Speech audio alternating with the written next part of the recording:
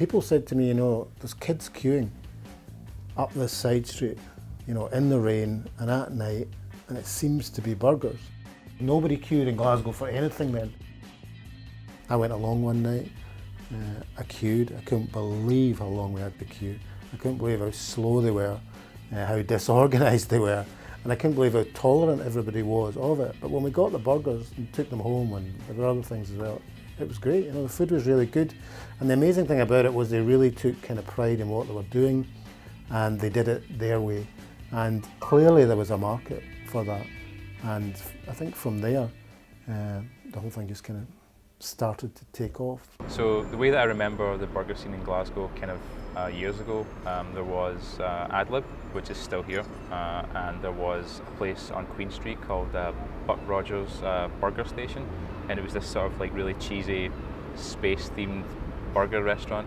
And then apart from that, you had the usual McDonald's, Wimpy's, and all these kind of things. But that was really it. From 2012 to when are we? 2016, about 2014, 2015 you know, in Glasgow just here, there was boom, boom, boom, boom, boom, all popping up all over the place. When we kind of started to write about burgers, it was when uh, Meathammer was just kind of uh, popping up, bit nice and sleazy.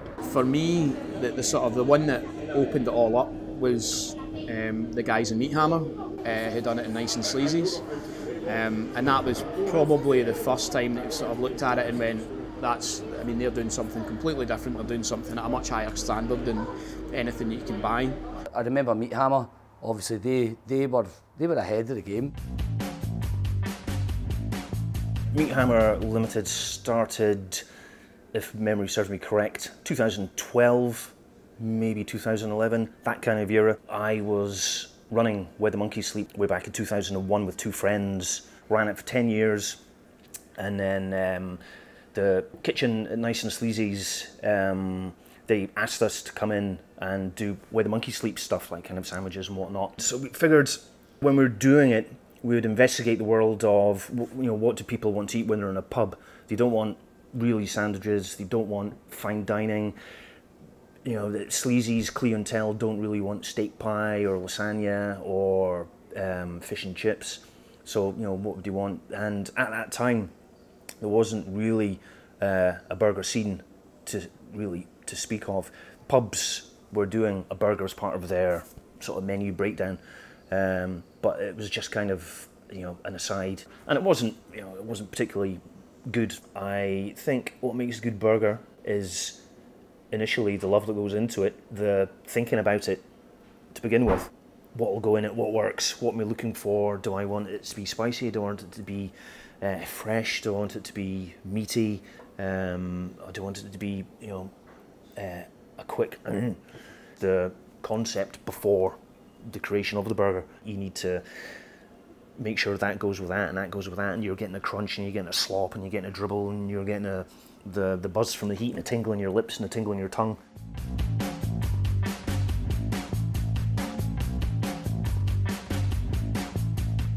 And obviously now you're you've come back to Dunfermline and you're cooking here.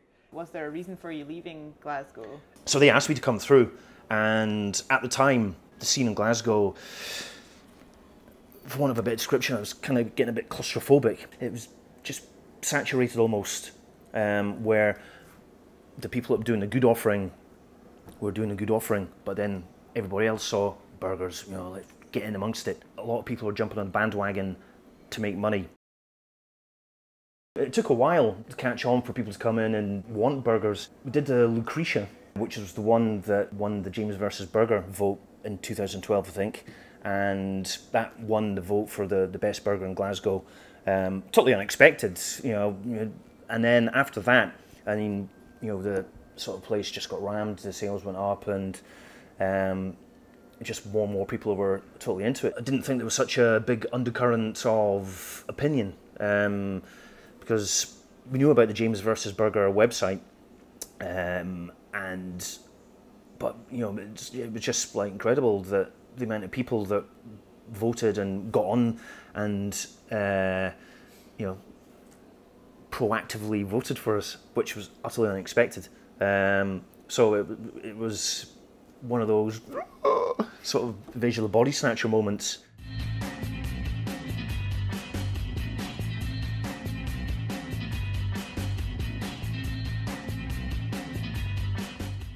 started writing the blog in 2012, uh, April 2012, I believe. I decided to start James versus Burger simply because there was no other resources online for finding the best burger in Glasgow. Like uh, my girlfriend and I, we travel a lot and we have family in America and, and things like that. So whenever we go traveling somewhere, one of the things that we would always do is uh, go online and search for where's the best burger in New York, where's the best burger in London or whatever. And uh, one night we were really, really hungry, um, as we are quite a lot, and uh, we thought, let's go for a burger. And we kind of just started having this discussion about, okay, well, where is the best one in Glasgow? So we we went online to search it, and there was just nothing online. There was no search results, and there was just nothing out there. I definitely think that the burger boom uh, has raised the bar. I think that even if uh, the burger scene shrinks a little bit, uh, I definitely don't think that you could go back to having burgers that are rubbish because people now know what they want and people know what to expect from a good burger. So that's going to be the standard now. So it's it's only going to get better and the quality is only going to grow even if the you know the number of burger restaurants opening up uh, starts to slow down. My favourite Glasgow burger has definitely changed over the years many times. Uh, as I said, Adlib was the original. That was my favourite uh, back uh, several years ago.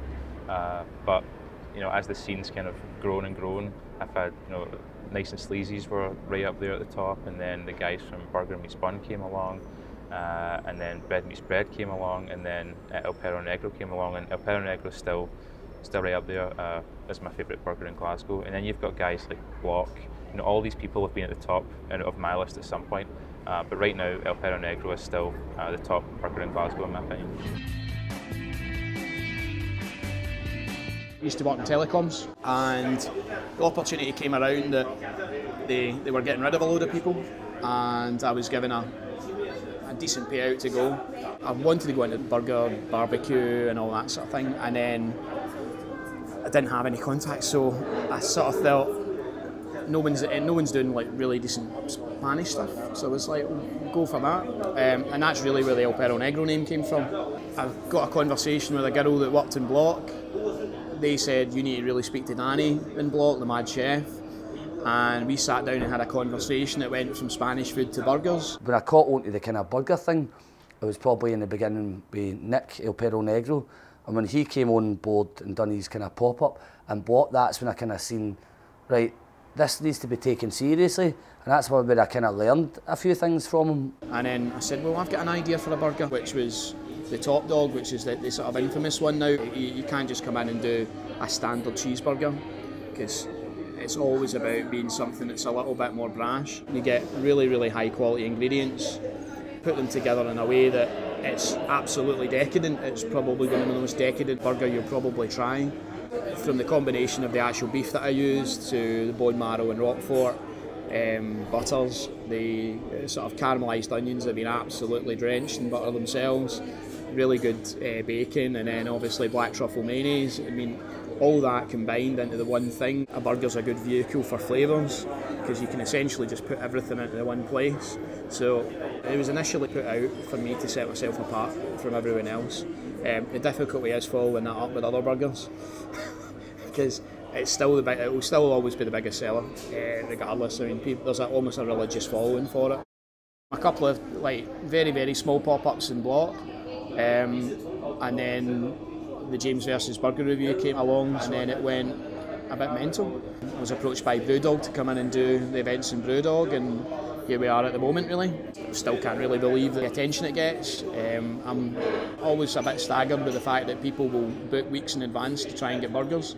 In terms of sort of the advantages of the pop-up, I think for me it's it's probably the fact you've been able to make mistakes and learn from them, and you've not sort of put yourself right out there. I think if it was, if I just went and done something straight off the bat, it probably wouldn't be where it is now, and it probably wouldn't have the reputation it has now. I think now we're probably at a stage where, after a while, that we're ready to open up a place, and I think that's that's the next logical step. I think is to, to open somewhere, and then probably and hopefully maybe a couple of other places beyond that. Um, but yeah, uh, I think it's given me the advantage of time.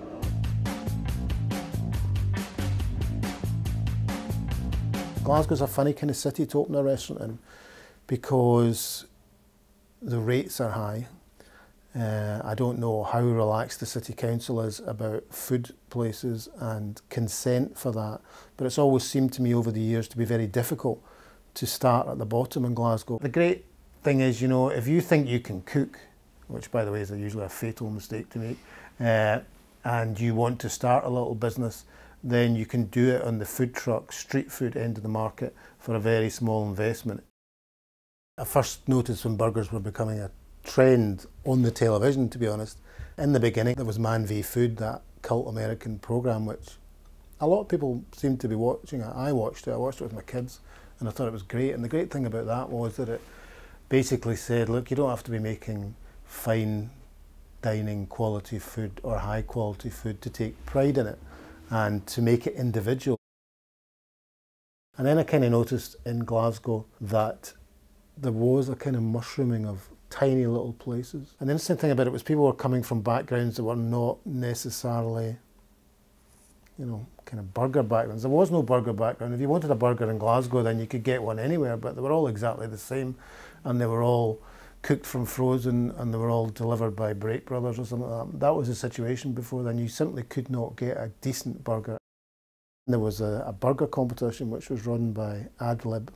I just got an email saying, do you want to go along and judging it, which I thought was something to do on a Tuesday night. Uh, quite a good laugh. Went along. I was surprised how many people were there, and I was surprised at how many kind of pop-up type burger places there were. And you know, the, the competitions were a success. Again, it, it introduced this idea that you know chefs could take pride in what they're doing and not just open packets and put things in grills and put them on plates, you know, with frozen chips. Burger Meats Bun opened in July 2013. There was a couple of people starting to do it around about 2012, 2013 when we came on the scene, but I like to think that when Burger Meats Bun opened that we kind of um, encouraged the growth of the burger scene in Glasgow. I'd always kind of kept a close eye on food trends and things that were going on down in London and what was popular and there was a big boom in not street food but also particularly burgers down there and I think naturally things that work down there gradually come up here eventually. Um, the other reason was just burgers are always and have been and always will be so popular and in Scotland we have the best meat arguably of anywhere in the world.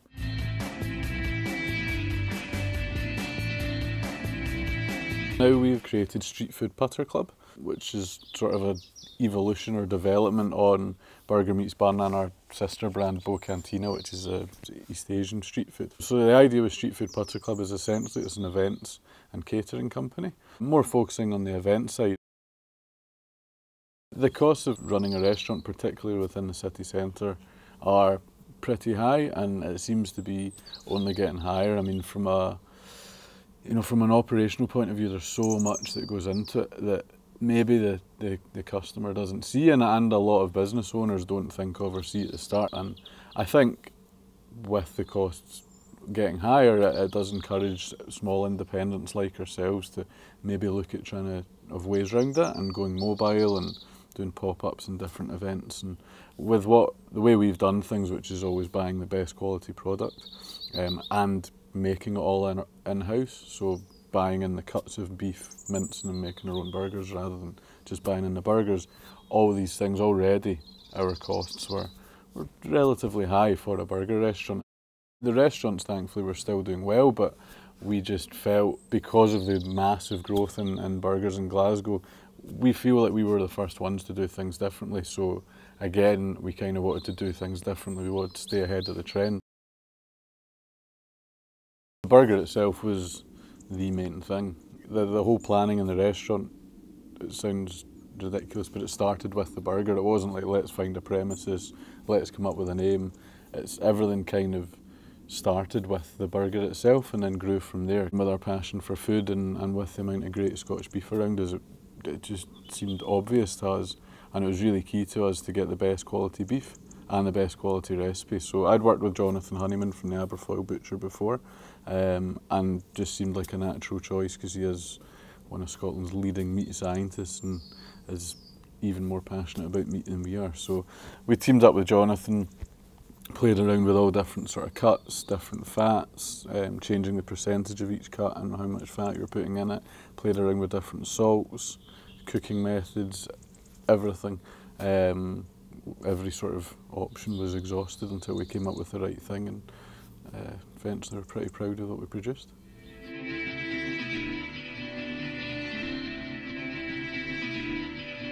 The original one in Glasgow was Burger Meats Bun, and we spent months developing the product to achieve this optimum burger. And it went back, the tools that I was using to get there with them was very much a case of what I'd learned in France, what I'd learned by the playing and the experimentation behind the scenes of, of how to take a product and realise it to its best. It just wasn't trimmings off the table, make it look red, mince it, season it, and get it out. It was taking those individual characteristics, doing something different, and giving the best meat eating quality in the plate.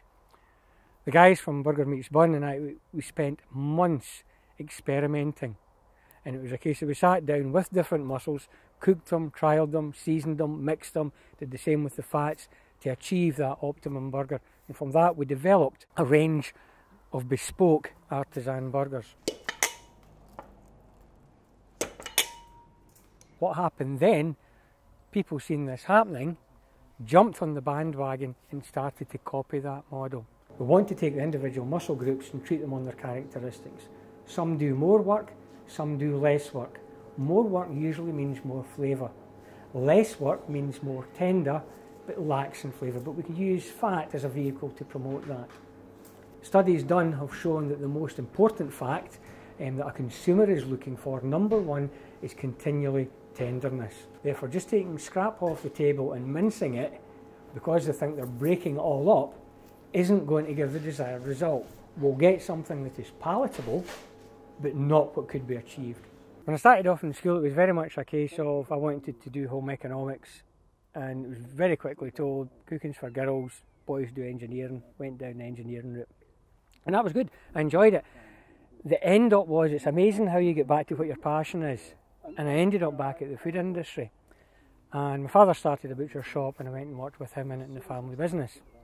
Got the opportunity uh, to go to France to learn a bit more. Then started looking at why is the meat so good here? What was the geology of the, the ground impacted in the grass, impacted in the cattle? I think we need to understand what we eat and put in our cattle affects the flavours right. and how we work with that. I'm not keen on imposing us onto nature. I'd rather line up and work with it. And I think that's where Jonathan and I are beginning to say this is very interesting. And as a consumer, I'm, I'd I'd like to work with people who are working like that. What we need to do though is look at educating the public more because they are very accepting of what is put in front of them and what they're being told. They should be probing more. What should we be probing for? What should we be asking? And how can we prove that that's what we say it is? And how do we recognise that when we eat it? As a chef, a burger was just a burger on your menu, and then all of a sudden it was like, you need to make the fucking burger really good. And it made me realise that I had to up my game and start finding out where the meat came from, like what ratio you're putting in between chuck mince, steak mince, what the, all the different types is, putting beef fat into your burgers, what seasoning you're using, making sure you're caramelising the burger properly. Like.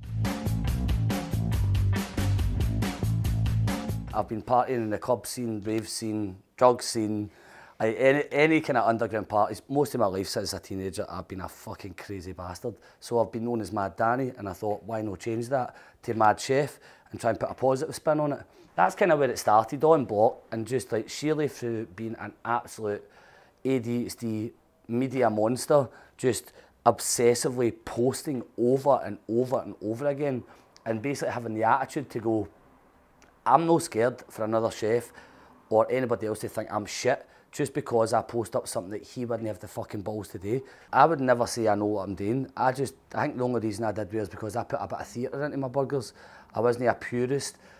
I respect the purists out there and I respect the knowledge that they have, but my burgers and what I did was just theatre and fun with taste.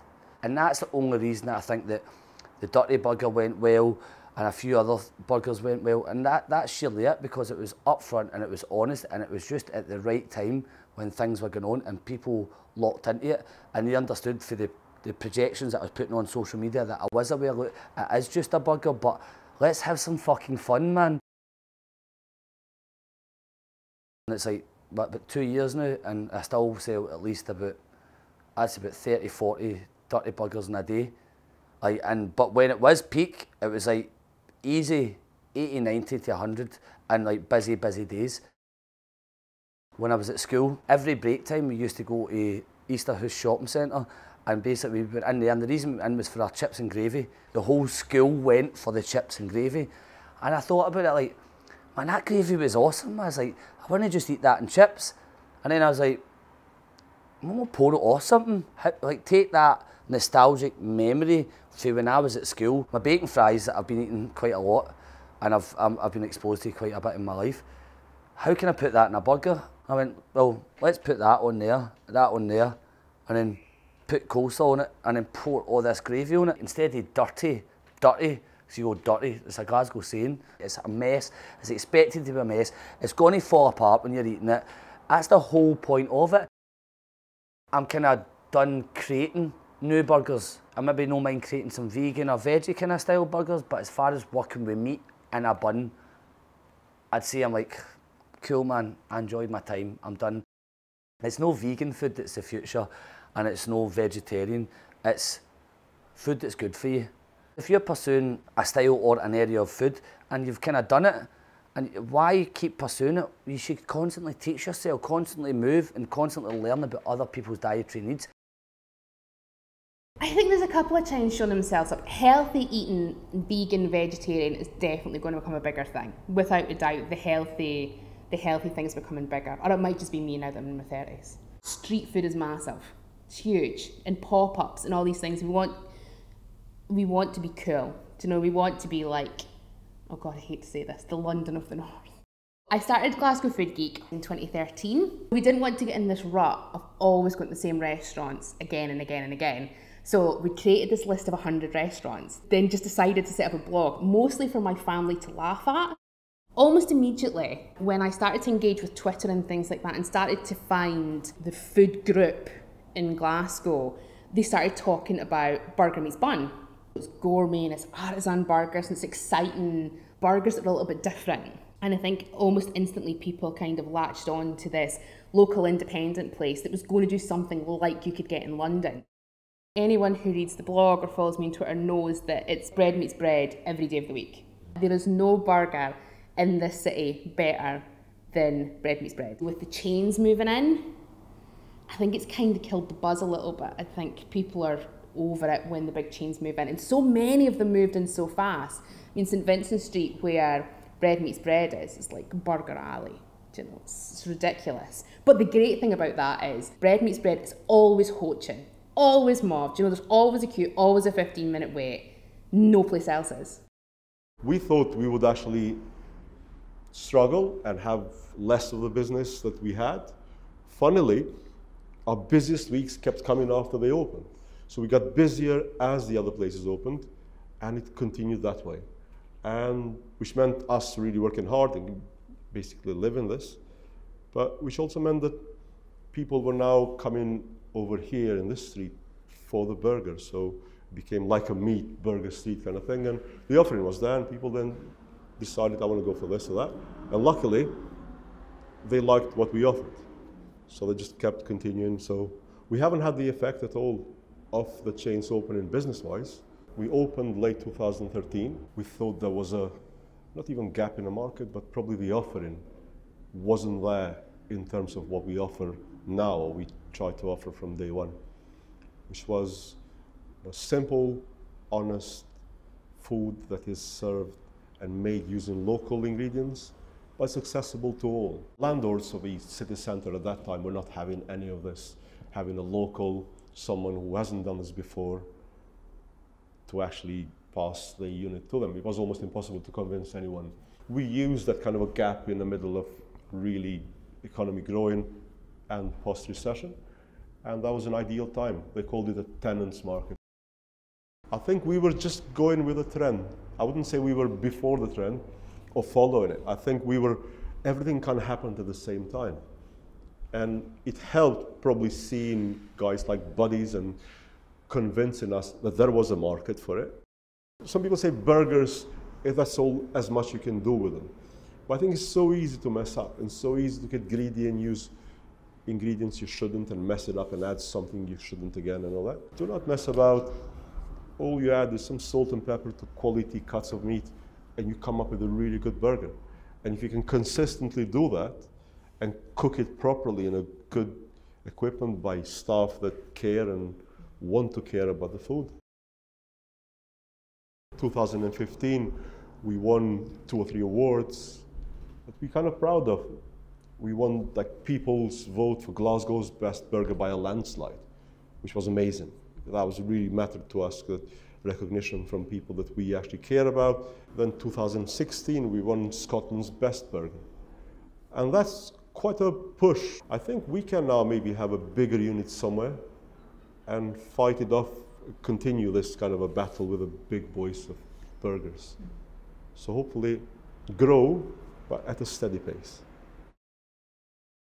We've seen, as you know, quite a few casualties. I mean, cocktail and burgers went first, then Meathammer went, then Jack or de Viand went as well. Bur- burger Meats Bun also from the current location. So bodies is now from three or four units to like one location. So quite a few people sort of stopped doing this.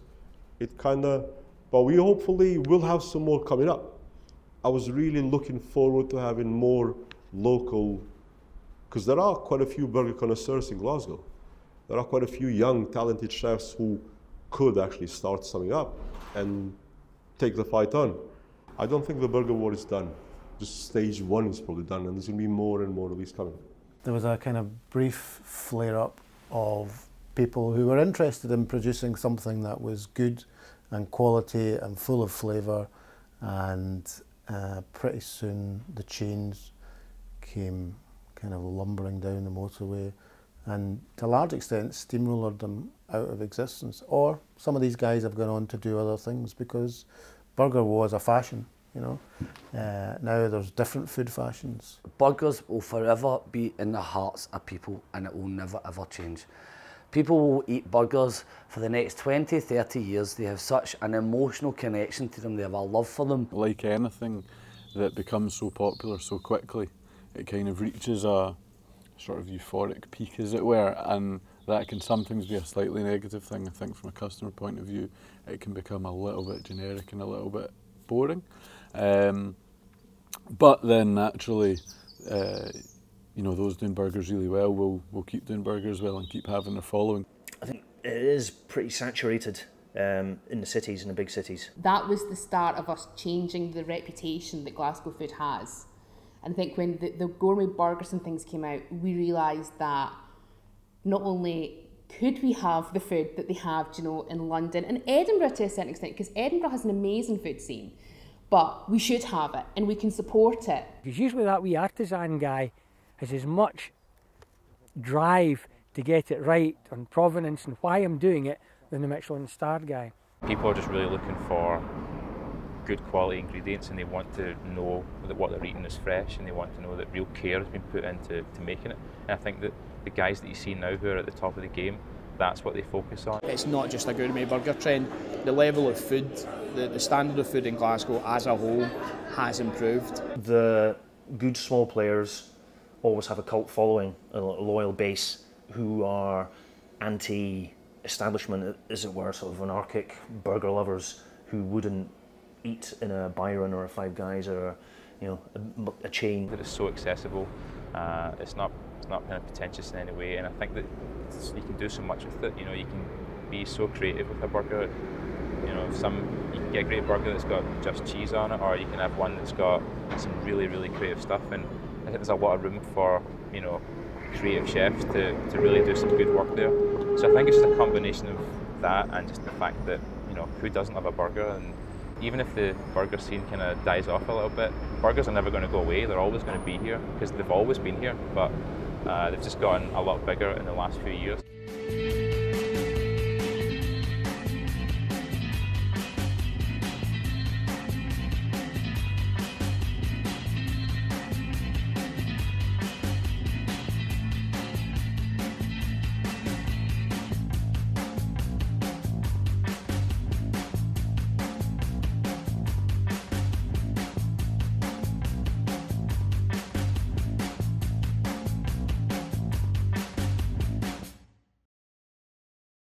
Man. Is it a wrap? That is a wrap. It's a wrap.